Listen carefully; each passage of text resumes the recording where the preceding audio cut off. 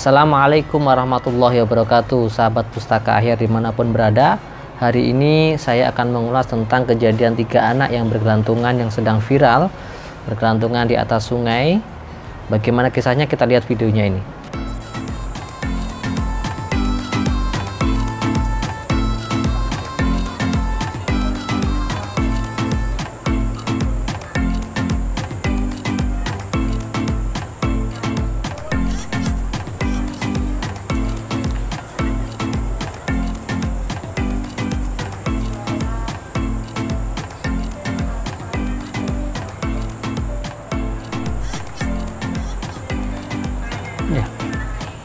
Kita lihat betapa senangnya mereka bergelantungan di atas uh, di atas tempat di mana sawit itu dikirim dari tempat satu ke tempat lainnya.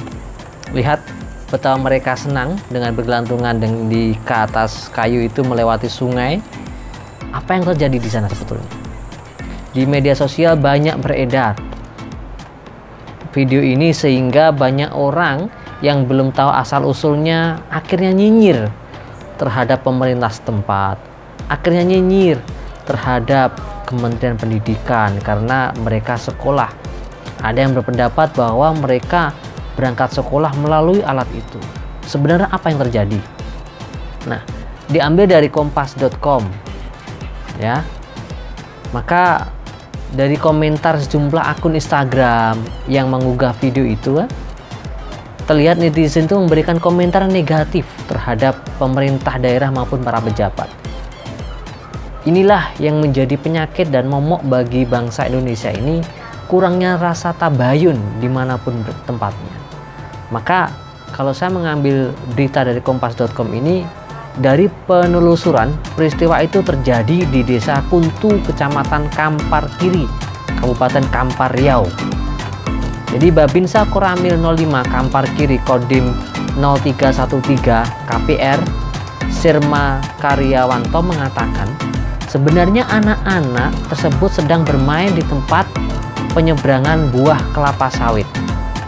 Pemilik sawit sudah membuat jembatan di dekat lokasi tempat siswa SD itu bermain. Jembatan itulah yang menjadi akses utama warga penyeberangan. Kita lihat video yang asli terjadi di sana. Saya ambil dari Facebooknya Bayu Gautawa mempraktekkan bahwa alat itu benar-benar untuk kelapa sawit. Kita lihat videonya.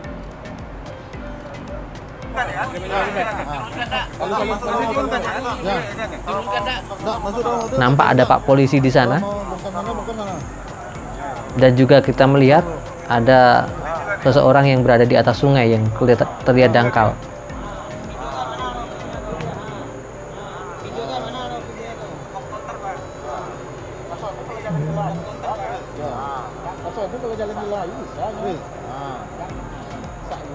Nah, oke kita lihat kembali bagaimana pemerintah setempat mempraktekkan apa yang terjadi di sana bahwa itu bukanlah jembatan anak untuk berangkat ke sekolah atau pulang sekolah. Kalau mau bukan sana bukan sana. Nah, bentar dulu. Inilah dia. Hmm. Videonya mana?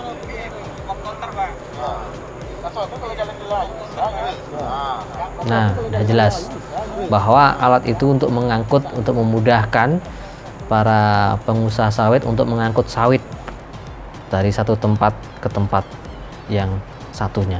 Kita lihat pula, inilah jembatan yang ada di sana, bahwa sudah ada jembatan, ya.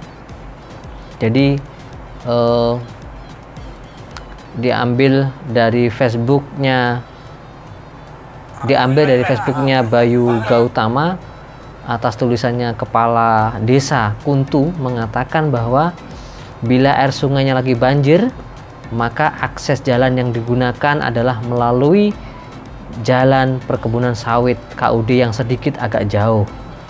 Ya kan? Adapun sungai yang ada di video itu adalah sungai kecil yang biasa dilewati sepeda motor dan biasa dilewati oleh pekerja kebun maupun oleh masyarakat sekitar untuk pergi memancing atas kepulauan lainnya. Nah, sahabat pustaka ayar, apa yang bisa diambil dari hikmah dari video ini? Yang pertama adalah mari kita kedepankan tabayun agar kita menjadi benar-benar mendapatkan informasi yang valid. Maka sebelum Anda mengetik, sebelum jari Anda itu berbicara, silahkan Anda mendapatkan informasi yang valid agar tidak nyinyir terhadap pemerintah setempat ataupun pemerintah di pusat. Yang kedua, mereka adalah anak-anak, tentu mereka dunianya bermain, golden age ya di mana usia anak-anak itu ada rasa suka bermain, berenang, berkelantungan, naik pohon. Ya kalau di kota ini bagaikan main flying fox lah, main flying fox di mall. Kalau di outbound itu flying fox. Nah, namun ya perlu kita sadari bahwa ini benar-benar membahayakan pada anak didik gitu. Tapi tentunya dengan seperti ini bagaimana pemerintah setempat mengadakan yaitu ya pendanaan lah buat buat anak-anak SD ini area tempat bermain yang ramah lingkungan, yang ramah anak sehingga anak-anak usia mereka benar-benar dunianya adalah belajar, bermain dan rasa sosial itu muncul, rasa empati ketika temannya jatuh ditolong. Kita lihat betapa senangnya, gembiranya anak-anak itu bermain bergelantungan di atas kayu. Namun,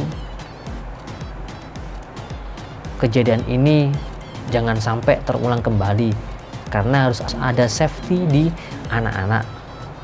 Baguslah bergelantungan, memperkuat uh, tangan si anak seperti ninja bergelantungan, gitu kan? Harus kita arahkan. Tentunya sebagai guru nantinya yang guru di sekolah itu tentunya harus mengoptimalkan kemampuan yang dimiliki oleh si anak. Siapa tahu diarahkan panjat tebing gitu kan? Harus diarahkan. Seperti halnya ketika anak-anak kita suka memukul suka menapuk pakai tangan. Maka kita arahkan ke rebana memukul. Sholatullah salamullah. Nah inilah yang harus kita uh, lakukan sebagai orang tua dan sebagai uh, orang dewasa pemangku kebijakan. Tentu hal-hal seperti ini yang kita manfaatkan.